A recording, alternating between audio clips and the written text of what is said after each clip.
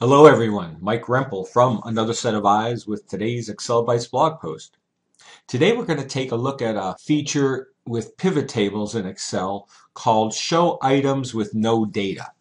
This can be very useful when you filter various items within your data and various rows or columns disappear. So let's take a look and see how this works. So here's our scenario we have a pivot table and I've set it up with a timeline. Now if you're not familiar with how to do a quick pivot table or creating a timeline, I'll put the links to those videos uh, down below so you'd be able to easily find those.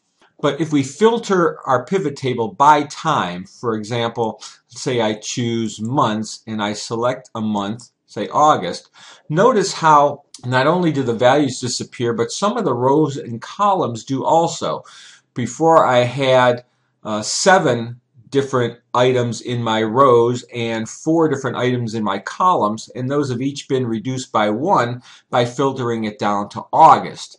I'd like to see those rows and columns remain in my fields, so uh, there's a feature in Excel to allow you to do that. So I'm going to go back and clear that filter and how you implement this is you click in the area of your row headers and you go down to field settings. I'm going to move this up a bit and in the layout and print tab there is an option show items with no data. I'll check that and say OK.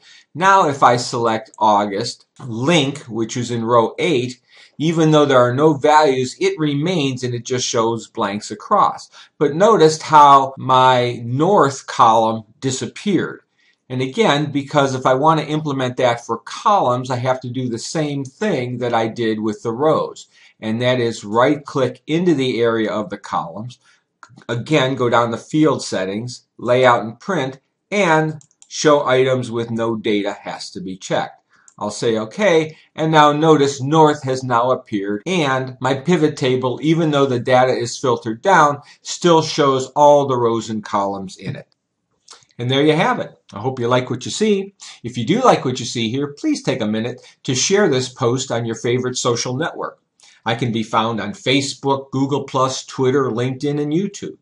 So I hope you enjoy this. If you'd like to see more, please feel free to stop by my website, excel-bytes.com, and I hope you subscribe. So have a great day and happy excelling.